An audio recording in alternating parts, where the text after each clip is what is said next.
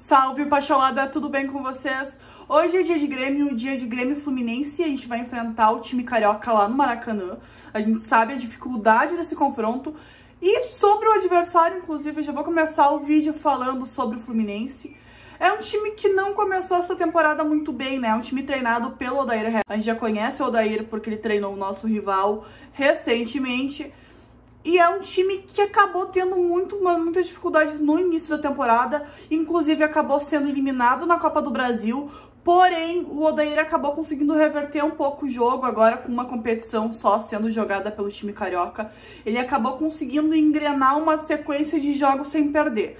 São oito jogos que eles não perdem, cinco vitórias, né, desses oito jogos, cinco são vitórias e três vitórias consecutivas. Então, o jogo de hoje pode ser mais um marco, né, nessa caminhada do Odair junto ao Fluminense. O Odair que, inclusive, quase caiu do comando técnico do Fluminense. Essas vitórias uh, e essa, esses empates, né, essa sequência de jogos sem perder, acabou segurando, acabou garantindo o Odair na equipe. E o, o, Fluminense vai a campo, vai enfrentar o, o Grêmio hoje um pouco desfalcado. Eles, vão, eles acabaram perdendo o Neném por causa de uma lesão. O Neném é o jogador mais importante da temporada, ele vem fazendo uma temporada muito boa, vem fazendo vários e vários gols. E por outro lado, eles vão ter o retorno do Fred e do Dodge. O Dodge, que é um jogador muito marcador no meio-campo do Fluminense e que com certeza vai trazer muito trabalho pro Grêmio.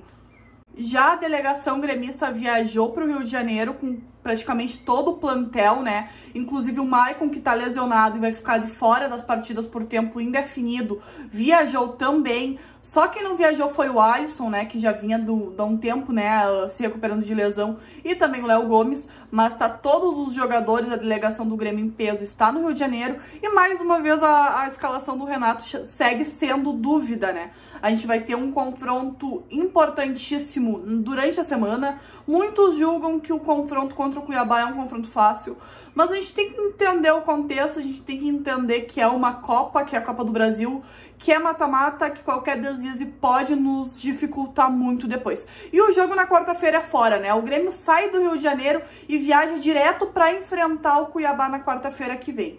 Então, por isso que a escalação do Renato, apesar de ser mistério, a gente meio que já sabe que não vai entrar em campo todos os titulares. Vão ter alguns desfalques, ou o time vai ser reserva, ou vai pender um pouquinho pro misto.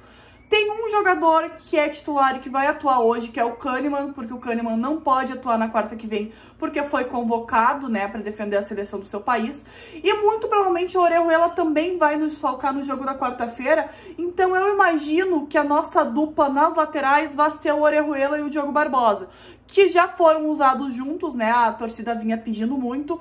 O Renato utilizou ambos no jogo contra o Bragantino e deu super certo, né? Na maior parte do jogo, inclusive, e inclusive eles conseguiram, eles foram responsáveis, né, pelos gols, iniciaram as jogadas dos gols. Sobre o restante do, do time, o meio-campo é muito, tá muito indefinido ainda, o ataque também tá muito indefinido. No meio-campo, a gente a única certeza que se tem é que o Jean-Pierre iniciaria o jogo porque o próprio Romildo e o próprio Renato falaram para a torcida que buscam uma sequência do atleta para que ele possa ser o titular absoluto do Grêmio, né? Mas independente da escalação, o Grêmio tem que se cuidar por quê? Porque a gente sabe da fama de retranqueiro e da forma e do estilo de jogo que o Odair impor, impõe principalmente depois que faz um gol. Então o Grêmio tem que cuidar para não tomar gol, principalmente no primeiro tempo, porque se a gente levar gol, o Odair vai retrancar todo o time e a gente vai ter umas complicações maiores no decorrer da partida. Se o Fluminense vence hoje, ele vai encostar nos líderes da tabela. E se o Grêmio vencer hoje, além da quinta vitória consecutiva, a gente ainda vai se aproximar muito do G4. Ou seja, é uma vitória importante para ambas as equipes. Tenho certeza que, independente da escalação que o Renato uh, mandar para campo hoje. Eu tenho certeza que a ideia dos jogadores vai ser jogar para frente, vai ser buscar o resultado, porque a gente precisa, né? A gente precisa começar a ter umas melhoras no, no Brasileirão. Claro que a gente já começou, a gente já vem sequenciando um, resultados positivos, apesar de não apresentar um futebol tão bom, mas no final das contas o que, o que fica mesmo são os três pontos, e é isso que o Grêmio vai buscar hoje e vai focar para conseguir. A gente sabe que o Fluminense é um adversário complicado, é um adversário difícil, e o Grêmio com certeza precisa entrar focado nessa partida, porque cada um dos, dos times vai buscar o seu ideal, né? Vai buscar o seu objetivo, porque ambos os times querem o, os três pontos. Para hoje, para esse momento, a minha análise é essa.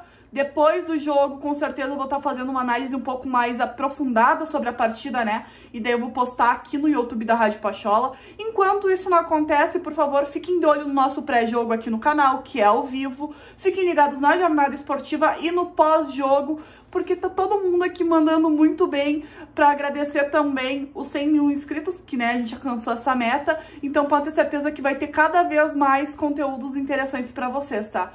Deixa aqui nos comentários qual é a opinião de vocês sobre o jogo de hoje, se vocês estão nervosos, se vocês estão confiantes, qual a possível escalação ou até a escalação que vocês mandariam a campo. E também aproveitem para deixar o like nesse vídeo, se inscreverem no canal e também aproveitem para compartilhar esse vídeo com todo mundo que vocês conhecem, nos grupos do WhatsApp, para a família de vocês, para os amigos de vocês, nas redes sociais de vocês. Me dão essa força para esse vídeo alcançar mais pessoas. É isso aí e até o pós-jogo.